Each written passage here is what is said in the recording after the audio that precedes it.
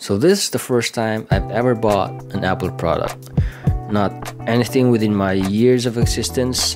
The first time I planned to buy one was around 5 years ago where I inquired an iPad Pro but then the sales told me it doesn't have included pencil, a different charging port than the usual, can't connect an external storage and so on that there's so many things out of the usual and a lot of extra bucks it got me totally off and I never bothered anymore. So what made me decide to buy one after all those years? The 4th gen 12.9 inch 2020 iPad Pro. So why would I buy a 4th gen when the M1's already out? I bought this iPad Pro for a discounted price with the Apple Pencil for 900 US dollars. And now I was told it can connect now on USB-C like everything else, can now support an external storage and with the Apple Pencil too. For me, it was an incredible deal so here we are. I'm gonna review this focus more from an artist's point of view.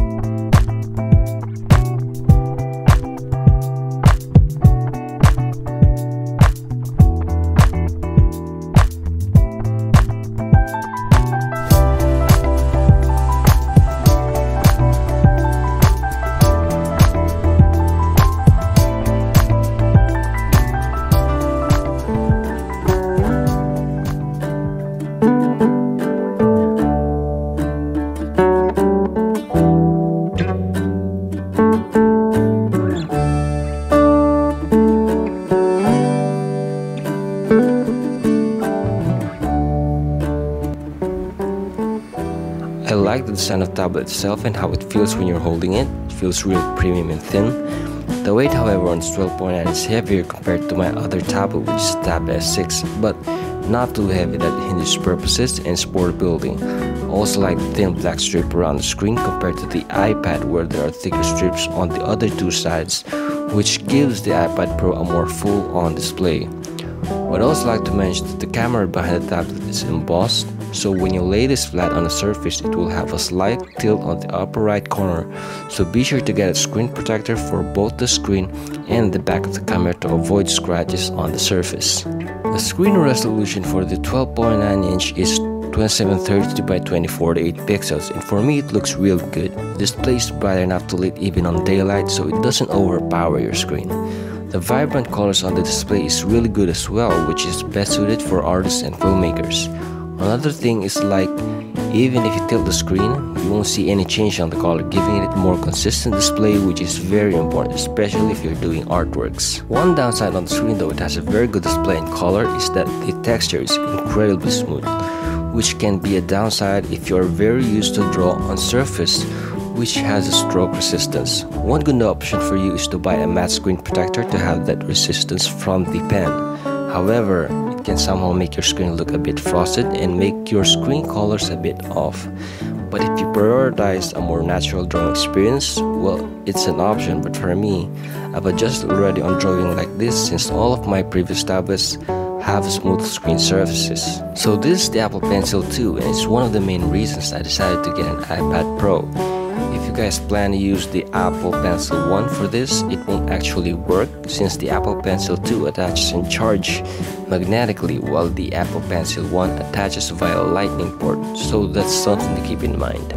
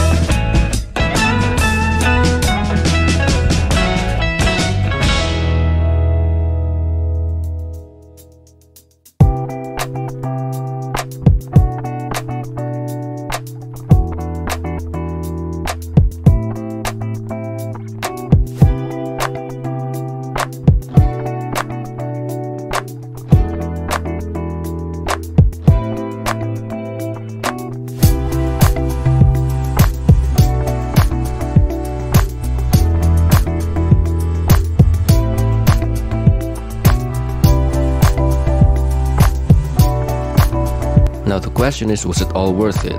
Or was it just hype? After hearing all of those glorious reviews out there, after using this tablet for around a month now, focused mainly on full blast drawings, high resolution works, 4K, 5K, and up to 8K resolution drawings. The Apple Pencil where everyone says it's so good, it's the best, so accurate and everything. To be honest, yes, it's all worth it and absolutely. I'm looking forward to my next Apple product. So that's it. I hope you guys enjoyed my review. Don't forget to hit the like and subscribe button and see you guys on the next video.